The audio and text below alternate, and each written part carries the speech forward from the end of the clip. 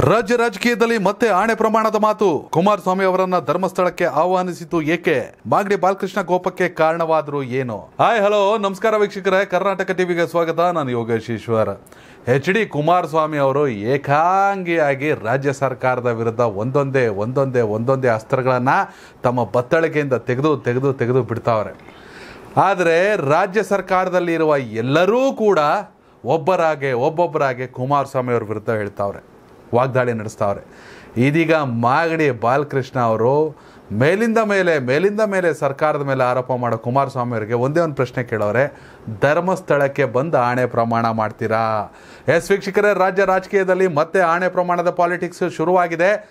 ಕುಮಾರಸ್ವಾಮಿ ಅವರು ಅಧಿಕಾರದಲ್ಲಿದ್ದಾಗ ಯಾವ ವಿಚಾರಕ್ಕೂ ಒಂದೇ ಒಂದು ರೂಪಾಯಿ ಹಣವನ್ನು ತೆಗೆದುಕೊಂಡು ನಾನು ಕೆಲಸವನ್ನು ಮಾಡಿಲ್ಲ. ನಾನು ಕ್ಲೀನ್ ಕ್ರಿಶ್ಚಪ್ಪ. ನಾನು ಸತ್ಯ ಹರಿಶ್ಚಂದ್ರನಷ್ಟೇ ಪ್ರಾಮಾಣಿಕ ಅಂತ. ಧರ್ಮಸ್ಥಳಕ್ಕೆ ಬಂದು ಅಧಿಕಾರ, ಆಣೆ ಪ್ರಮಾಣನ ಮಾಡಲಿ ಅಂತ ಮಾಗಡಿ ಶಾಸಕರಾಗಿರುವಂಥ ಬಾಲಕೃಷ್ಣ ಅವರು ಸವಾಲನ್ನು ಎಸ್ತವ್ರು ಸುಮ್ಮನೆ ಹತಾಶೆಯಿಂದ ಪ್ರತಿಯೊಂದಕ್ಕೂ ಆರೋಪಗಳನ್ನ ಮಾಡಬಾರ್ದು. ಇತ್ತೀಚೆಗಷ್ಟೇ D C M D K Shivakumar ಅವ್ರು ಮಾತಾಡ್ತಾ, ಕುಮಾರಸ್ವಾಮಿ ಕಾಮನ್ ಸೆನ್ಸೇ ಇಲ್ಲ ಅಂದರು. ಇತ್ತೀಚೆಗಷ್ಟೇ ಸಿದ್ದರಾಮಯ್ಯ ಅವರು ಮಾತಾಡ್ತಾ, ಕುಮಾರಸ್ವಾಮಿ ಅವರು ದಿ ವಿಲನ್ ಅಂತ ಹೇಳಿದ್ರು.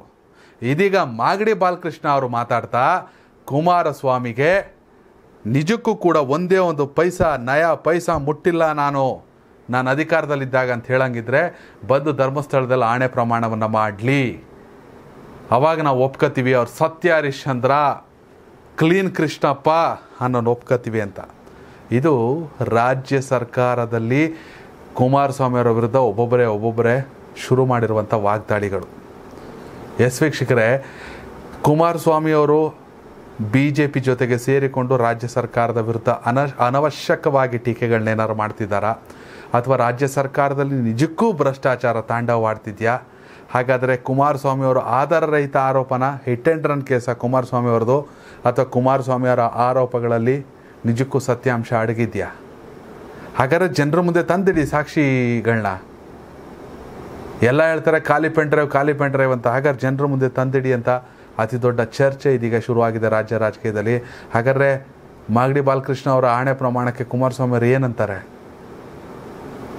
ಜೊತೆಯಲ್ಲಿ ಇದೀಗ ಬೆಂಗಳೂರು, ಕನಕಪುರ, ಬೆಂಗಳೂರು, ಮಾಗಡಿ ಇವೆಲ್ಲ ಬೆಂಗಳೂರಿಗೆ ಸೇರ್ಕೋಬೇಕು ಅನ್ನೋ ಅತಿ ದೊಡ್ಡ ಚರ್ಚೆ ರಾಮನಗರ ಜಿಲ್ಲೆಯನ್ನೇ ಬದಲಾಯಿಸ್ತೀವಿ ಅಂತ D C M D K Shivakumar ಅವರ ಸವಾಲು. ಇವೆಲ್ಲದರ ಬಗ್ಗೆ ನಿಮ್ಮ ಅಭಿಪ್ರಾಯನ ಕಾಮೆಂಟ್ ಮಾಡಿ ಧನ್ಯವಾದಗಳು.